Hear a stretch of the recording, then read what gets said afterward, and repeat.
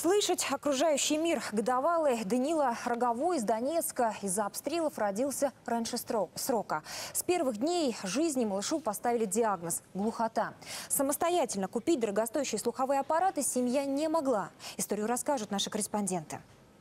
Искусственная вентиляция легких, затем месяц в кислородной маске. Первые недели жизни для Данила оказались самыми тяжелыми.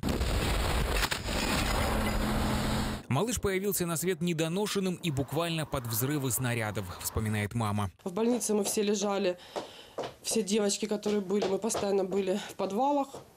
Да, честно, потому что обстрелы были ужасные. Такие испытания не прошли бесследно. Сегодня ребенку год и три месяца. Он ничего не слышит. Ну все, ну все, ну ты устал, ты молодец. А это мама с Данилом на приеме у сурдопедагога. Врач тестирует современные аппараты. Только такие сверхмощные и сверхдорогие устройства могут дать малышу слух. Ты слышишь, сыночек? Ты слышишь, да, котенок? Сам себя.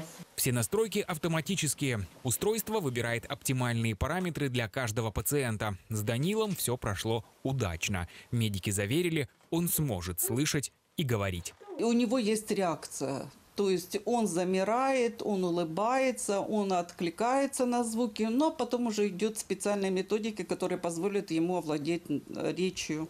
Теперь главное не пропускать приемы у врача и заниматься с ребенком дома. Галина уверена, и она, и сын с этим справятся. Будем учить его говорить слова. Он теперь узнает, что где находится, как кого зовут.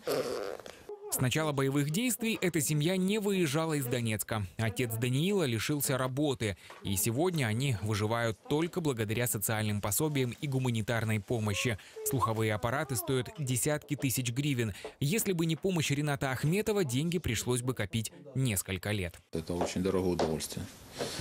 Да, спасибо нашему земляку Ренату Леонидовичу, что помнит и ценит людей, которые тут живут.